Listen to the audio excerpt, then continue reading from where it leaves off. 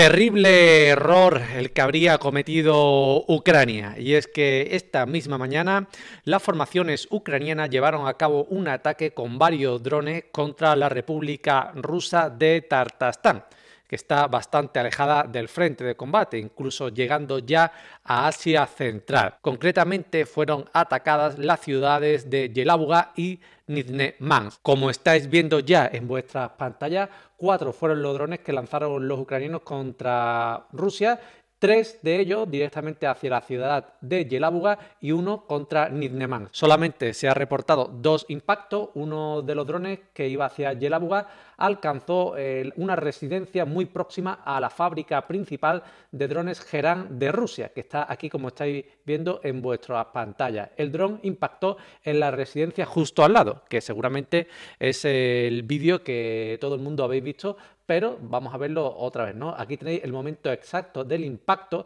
de ese dron sobre Yelabuga y aquí tenéis las consecuencias de la llegada, ¿no? Dejó un gran cráter en la fachada del edificio de la residencia. También en la zona de la refinería de petróleo en Nizhnemansk, bueno, se produjo un alcance, ¿no? Esa es la maniobra principal que se habría producido. Vamos a ver también el vídeo de la llegada que está dando la vuelta a todas las redes sociales. Como estáis viendo, no se trata de un dron, mm, podemos decir, al uso, sino que se trata de un avión, un avión ligero convertido a. Ahora hablaremos también de ese extremo del acontecimiento, pero bueno, ahí tenéis las imágenes para estar situados. Vamos directamente con la información que nos da lo de Rivar y es que afirma que uno de los drones que visualmente se parecía a un avión ligero reconvertido a 22 impactó en una residencia junto a una planta de producción de drones en la zona económica especial de Yelabuga. Como resultado del ataque, además de los daños en la zona residencial que habéis visto, varias personas resultaron heridas. He podido consultar otras informaciones y estaríamos hablando de siete heridos. Otro de los drones, afirma el derribar, fue derribado por medios de guerra electrónica sobre la ciudad de Nizhnemansk, también en Tartastán pero cayó en el territorio de la refinería de petróleo, impactando en una de sus instalaciones. No obstante, según se informaba también por parte del derribar, el incendio pudo ser extinguido en apenas 20 minutos, por lo cual hemos de confluir que no tuvo mucho daño esa instalación ¿no? de la refinería de petróleo. También el medio Rivar afirma que los drones fueron lanzados desde la zona fronteriza en las regiones de Kharkov y Sumi. Vamos a ver el mapa porque creo que no lo he señalado tanto anteriormente, pero aquí tenéis eh, la distancia que habría recorrido desde la zona de lanzamiento en Kharkov o Sumi, más arriba, y aquí está Yelabuga, ¿no? 1250 kilómetros aproximadamente, y para que os hagáis una idea, aquí está Moscú, bueno, pues todavía más eh, en la zona de retaguardia eh, rusa, incluso ya llegando un poquito a los Urales. Así que una distancia, desde luego, nada desdeñable. Y hemos de hacernos unas preguntas entre todos. El de afirma que por qué siguen funcionando las empresas que producen los drones, por qué todavía estas empresas no han sido derruidas hasta los cimientos. Bueno, a lo que él mismo responde que tal vez las personas de las altas esferas todavía piensen que los vehículos aéreos no tripulados ucranianos no pueden cubrir distancias tan largas, pero hace mucho tiempo que no es así. Los ejemplos de ataques recientes son ilustrativos. También hemos de decir una cuestión que me ha resultado muy interesante y es que un medio occidental, si mal no recuerdo, es CNN, ya venía a publicar en un artículo hoy sobre esta capacidad nueva, que no tan nueva, de los drones ucranianos, que podrían cubrir tan largas distancias, casi 1.200 kilómetros o más, como hemos visto en la infografía.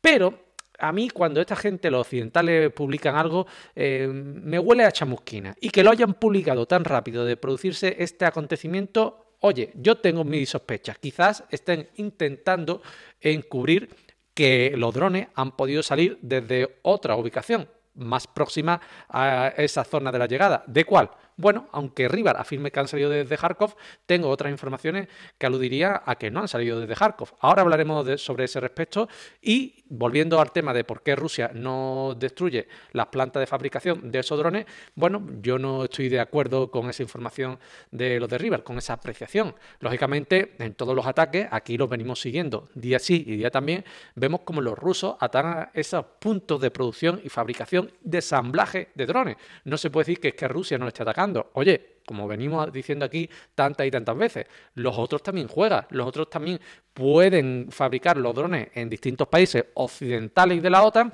y suministrarlos a distintos puntos para su ensamblaje o directamente ya ensamblados. Por lo tanto, eh, si los ucranianos han conseguido dar este golpe, yo creo que es... Mm, muy meritorio por su parte y de los de la OTAN, no por eh, merma de los rusos, para que se me entienda. Y reitero nuevamente, no podemos subestimar a los ucranianos y a los de la OTAN principalmente, porque juegan y juegan muy duro también, se están jugando la existencia. Pero para ir más en profundidad en el análisis, os tengo que ser sincero, Rusia también necesita estos ataques. Rusia necesita que Ucrania, que la OTAN, en definitiva, también la golpee a ella. ¿Y por qué? Bueno, principalmente voy a poner dos supuestos. Rusia no estaba atacando de manera general las centrales energéticas de Ucrania. ¿Qué es lo que pasa? Que eh, los ucranianos empezaron a hacer esos jueguecitos con la refinería de petróleo, con los atentados y demás. Y entonces a partir de ahí es cuando los rusos también eh, subieron la apuesta en este trágico juego, atacando de manera masiva las centrales energéticas, hidroeléctricas, térmicas y también los almacenes de gas. Por lo tanto, esto le sirve a la federación, estos ataques le sirven en definitiva a Rusia para aumentar eh, la escalada y sobre todo atacar puntos críticos ucranianos que hasta entonces sin esa justificación no había atacado.